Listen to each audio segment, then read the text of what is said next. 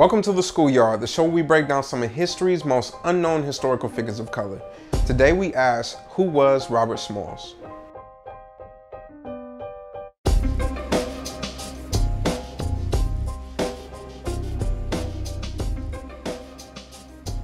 Robert Smalls was a congressman who escaped slavery by posing as a captain on a Confederate supply ship during the Civil War.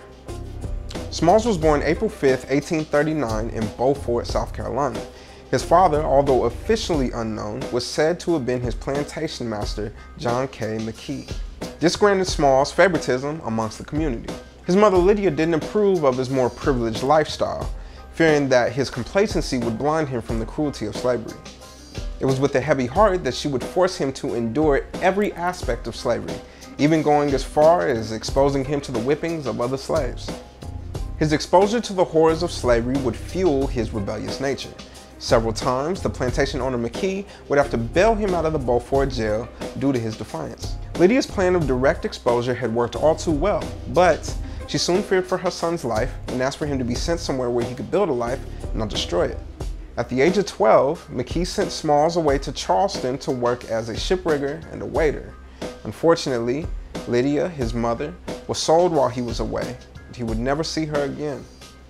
He worked several jobs in Charleston and was paid a pretty decent wage, but he was only allowed to keep a dollar a week. That's right, one dollar per week, which is about $28 today. The rest would be sent off to McKee. Smalls eventually got the opportunity to work on the Planter, a Confederate transport steamer. He fell in love with the idea of becoming a sailor, with the dream of one day sailing towards freedom. In 1858, Smalls met and married Hannah Jones, a slave girl who worked at the Charleston Hotel. They had two children together, but because of slave laws, they were unable to live with one another. They had to request permission from their masters, the McKees and the Kingmans. Permission was granted to them to live in a small apartment in Charleston, but they remained slaves. The Kingmans could take Hannah and his children in the blink of an eye for any reason. Small sought out their freedom, and the Kingmans agreed to sell his wife and his children to him for an insane price of $800, which is a little over $22,000 by today's standards. At the time, he only had $100 to his name, so he would have to find another way. In May of 1862, the opportune moment would finally present itself.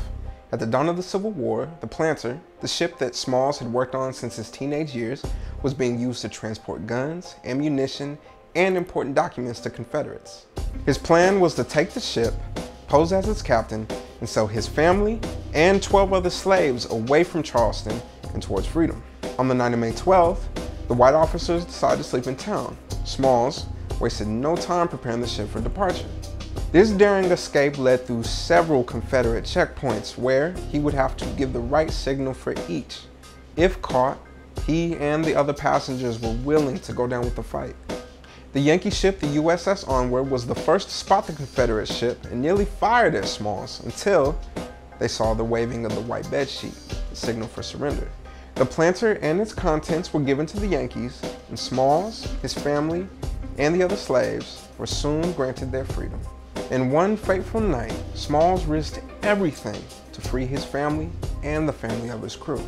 His endeavor was recognized by Abraham Lincoln, which became one of the many factors that encouraged him to authorize free blacks to serve in the Union military. Smalls would join the military himself, eventually becoming a Union Navy captain, conducting several missions near Charleston. He also had a stint in politics, getting elected in the South Carolina House of Representatives and serving as a congressman from 1868 to 1869. He returned to Beaufort and bought the very house in which he was a slave. He remained there until his death at the age of 75. It goes without saying that Smalls died a hero. Thanks for hanging out with us at the schoolyard. If you enjoyed finding out who's who, hit the subscribe button, leave a comment if you'd like to suggest someone for a future video. Peace and love. Thanks for watching.